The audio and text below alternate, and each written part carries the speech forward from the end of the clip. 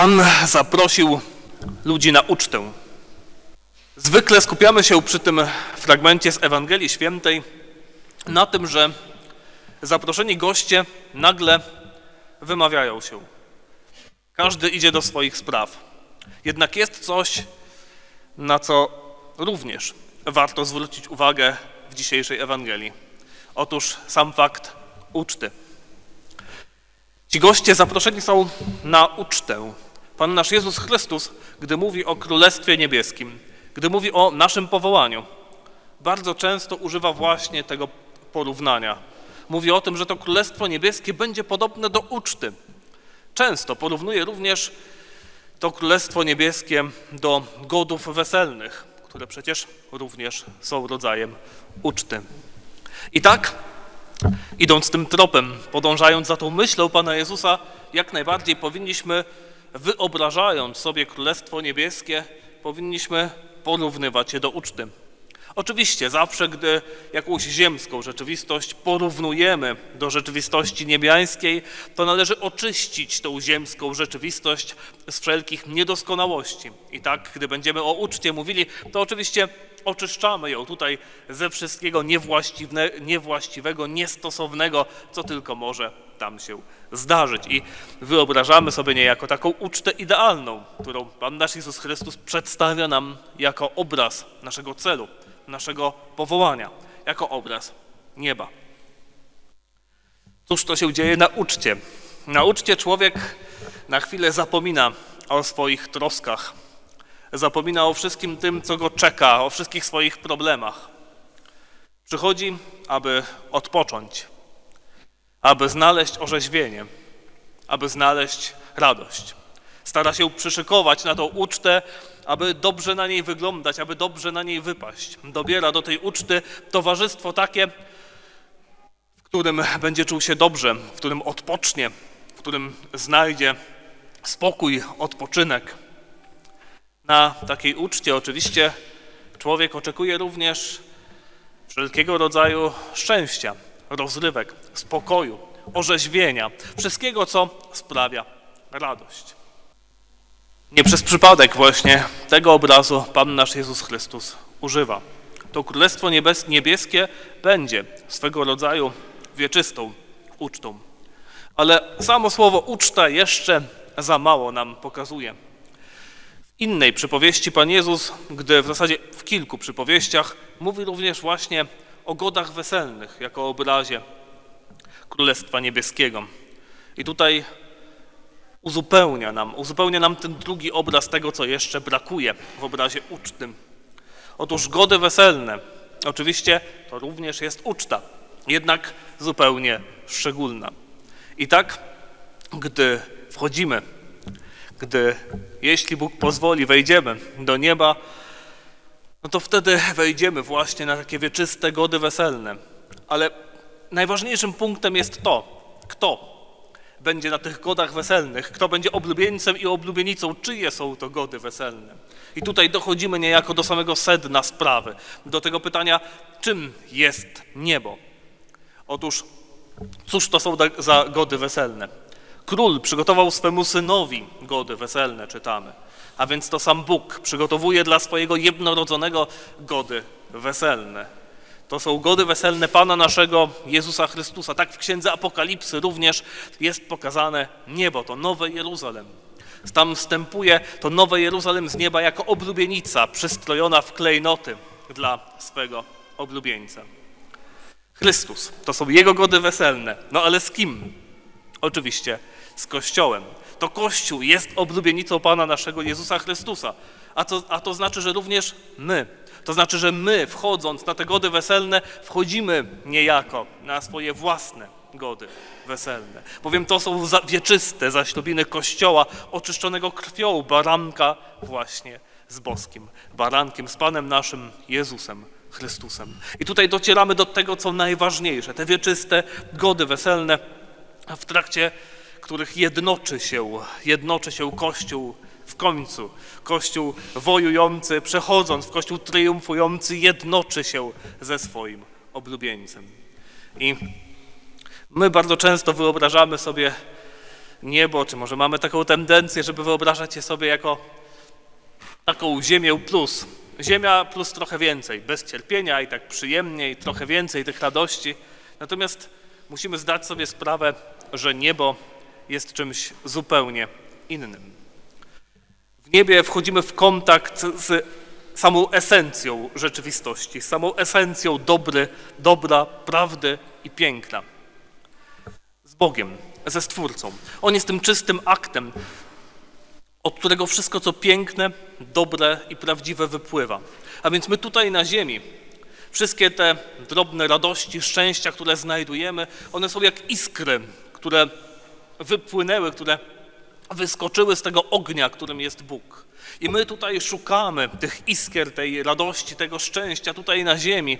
Jednak tutaj oczywiście nie jesteśmy w stanie go znaleźć, bowiem te iskry tak szybko się wypalają. I nawet jak człowiek ma czegoś dużo, to nagle się okazuje, że to już mu radości nie sprawia bowiem te iskry zaspokoić człowieka nie mogą. I potrzebuje on szukać tego właściwego ognia, tego źródła, tej esencji tej naszej szczęśliwości, esencji tego, co dobre, co prawdziwe, co piękne. I gdy człowiek wejdzie w kontakt z tą esencją tego, co dobre, prawdziwe i piękne, z samym Bogiem, gdzie wszystko w jednym momencie niejako jest, wszystko co piękne, co prawdziwe, co szlachetne, wszystko, czego nasza dusza pragnie, gdy w tym jednym momencie, gdy człowiek stanie przed Bogiem, przed tym prostym bytem, niezłożonym, absolutnie prostym, a jednocześnie, który jest wszystkim.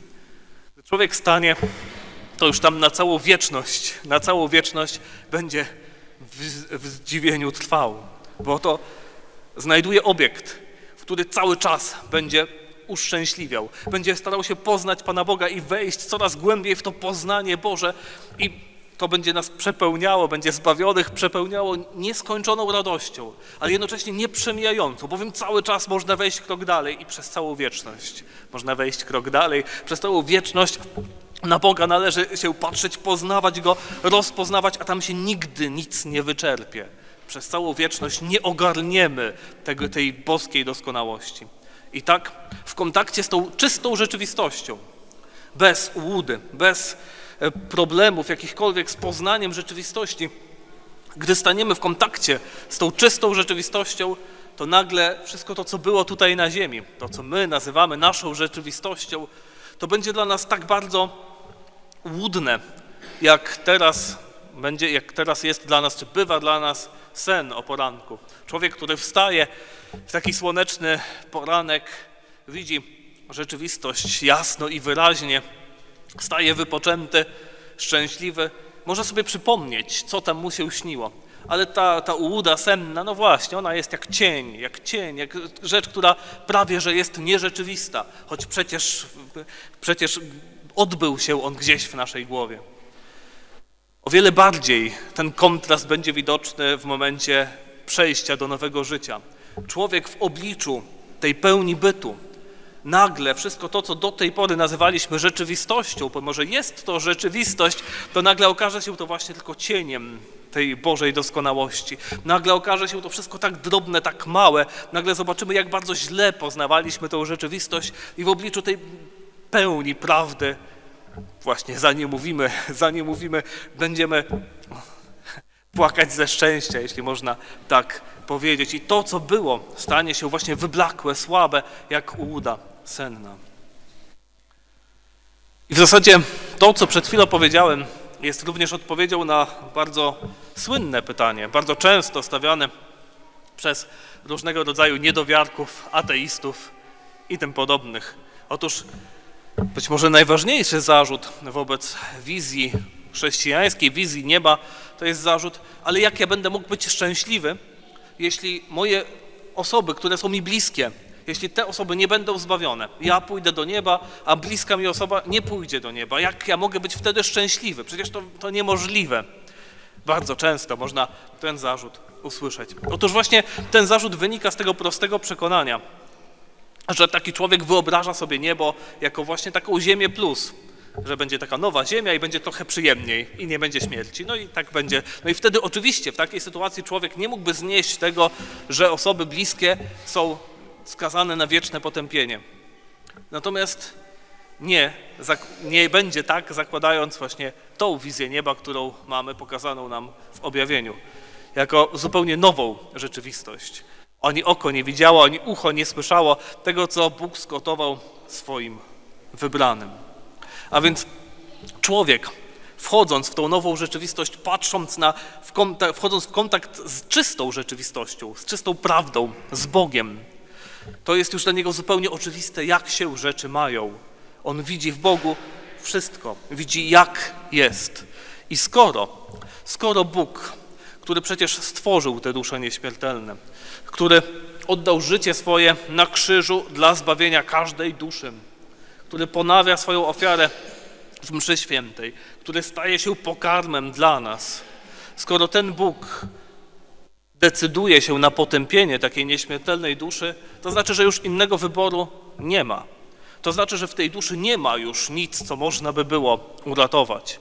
To znaczy, że ta dusza bez zniszczenia jej wolnej woli nie da się jej już inaczej osądzić. I to będzie absolutnie czytelne. Tak jak Pan Jezus mówi, że ten, który ma, temu dadzą jeszcze więcej. To jest ten, który ma łaskę uświęcającą, jest z Bogiem zjednoczony, jemu da, da, się tyle, że będzie aż w nadmiarze. A ten, który nie ma, nie ma zjednoczenia z Panem Bogiem, jemu zabiorą nawet to, co wydaje mu się, że ma. Czyli wszystko w tym człowieku, który będzie potępiony, już nie będzie nic, co będzie można kochać. Nie będzie nic, z czym będzie można mieć jakąkolwiek pozytywną więź. I zbawieni będą to doskonale widzieli będą widzieli doskonale, że ten człowiek, który wcześniej był bliską osobą na ziemi, będą widzieli, jak ten człowiek otrzymując wszystkie łaski, wszystkie dary, jak on wszystko po kolei odrzucał. No bo z definicji potępiony to jest ten człowiek, który świadomie i dobrowolnie Pana Boga odrzucił, bo to jest definicja grzechu ciężkiego. Będzie zbawieni będą to doskonale widzieli, że Bóg idzie za tym człowiekiem, daje mu łaskę, jedną, drugą. Będą doskonale widzieli, że tutaj modlił się za niego ten i ten i te łaski znowu go zalewały, a on mimo wszystko odmawiał. Będą to wszystko widzieli. Będą widzieli, jak on to dobro, które otrzymał od Boga, nadużywał nieustannie. Jak mógł dać z tego, co otrzymał, dużo, dużo więcej, a praktycznie wszystko gdzieś tam zmarnował jak wiele w nim było tej złośliwości. I z definicji człowiek potępiony to jest ten człowiek, który nie może stanąć przed Panem Bogiem. A więc on, gdy spojrzymy na jego duszę, czyli spojrzymy na takiego, jakim on jest, on jest przerażający jest straszliwy, jest odrażający. W tym już człowieku nie będzie nic do kochania, dlatego też Bóg musi go skazać na wieczne potępienie. I dlatego też ta dusza, pomimo tego, że ten człowiek był jej na ziemi bliski, w obliczu z jednej strony tej prawdy Boga, pełni prawdy i w obliczu tej wizji, ujrzenia tego człowieka, jakim on jest, a potępiony z definicji właśnie zabiorą mu nawet to, co ma i nie ma w nim już nic dobrego, to będzie zupełnie oczywiste dla tej duszy, że nie ma innego wyboru. I to nie tylko na zasadzie, że szkoda, że nie ma innego wyboru, tylko właśnie Bóg jest absolutnie sprawiedliwy i ta dusza to zobaczy. Widzi, że ten wyrok jest taki, jaki musi być, że po prostu tak musi być, jest to, to piękne tak naprawdę, bo sprawiedliwe, bo miłosierne również dlatego, że w tym działaniu Boga na ziemi będzie widać, w tym działaniu, w udzielaniu łaski będzie widać, ile ten człowiek otrzymał i później jeszcze karę, którą otrzyma w piekle, zgodnie z powszechną, e, powszechnym poglądem teologów, kary piekielne będą mniejsze, dużo mniejsze niż e, takie, na które sama sprawiedliwość e, by wskazywała, co też będzie dla zbawionych czytelne. I tak niejako tego człowieka, czy zbawionego z tym potępionym już nic nie będzie w stanie połączyć. Dlatego to będzie, nie będzie tam żadnej jedności, nie będzie już nic do kochania.